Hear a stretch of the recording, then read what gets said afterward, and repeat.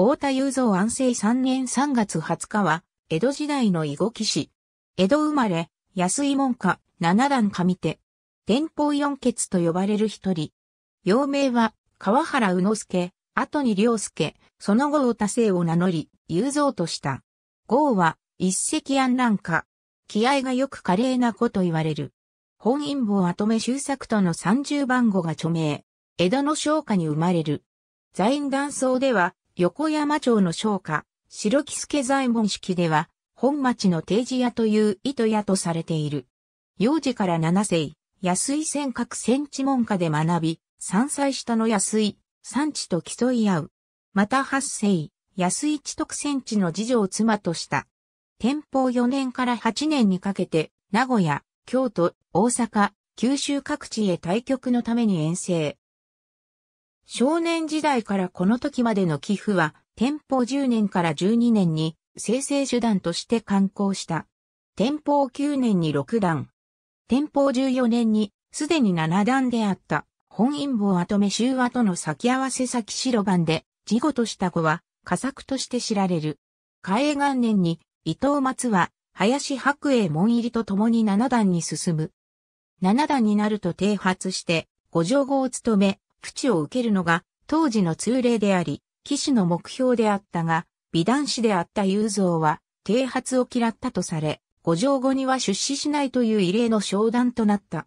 伊藤松は、安井山地、大田雄三、坂口仙読の4人で、天保四傑と呼ばれた。周作との初手合は、天保13年周作14歳2段、雄三36歳6段の時の2個曲で、雄三勝ちだった。この後、周作とは互い戦になるまで50曲ほどを打っている。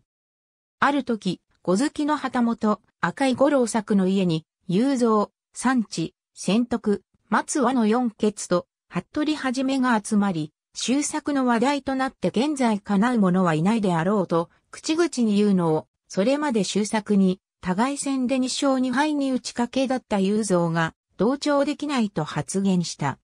そこで、五郎作が発起人となり、嘉永6年に30番号が行われた。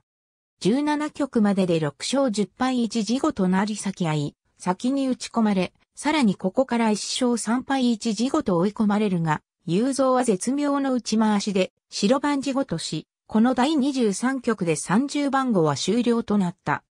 終作はこの年に7段昇段し、翌年昇段披露会を開き、雄三はその席上で松和と対局している。この後、ヘッジ後遊歴に出て、安政3年に高田の領宿鍛冶屋敷で隠し、天保四傑では最も早く没した。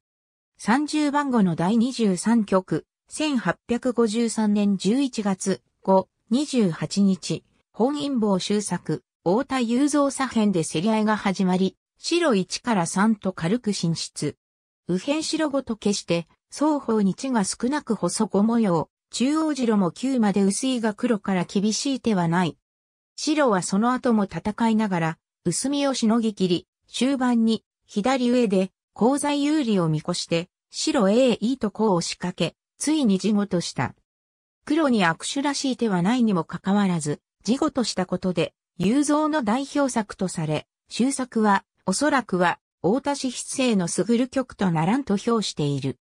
また、終和とは互い戦から始まり、その後、雄三先や伊先と、定先を往復し、約140曲が残されている。終作は天保四傑のうちでは、雄三が、芸、五輪の力勝れりと高く評価しているが、坂口仙読には先や伊先のままなど、対戦成績ではそれほど好成績ではなかった。ただし22歳も年下で、日の出の勢いの規制終作に対し、初老に近い年齢の雄三が17曲まで、互い戦で持ちこたえて見せた実力は高く評価される。現代でも、藤沢秀幸など、好きな騎手として、雄三の名を挙げる者は少なくない。終和とは140曲近くの寄付が残されている。高め、目外しを多用し、振り替わりの多いことで柔軟、華麗の印象を持たれている。目外し定石の一つである、白 A、黒 B、白 C は、雄三が大衆作戦で打ち出したとされる。CA、B。海英2年終作戦。ありがとうございます。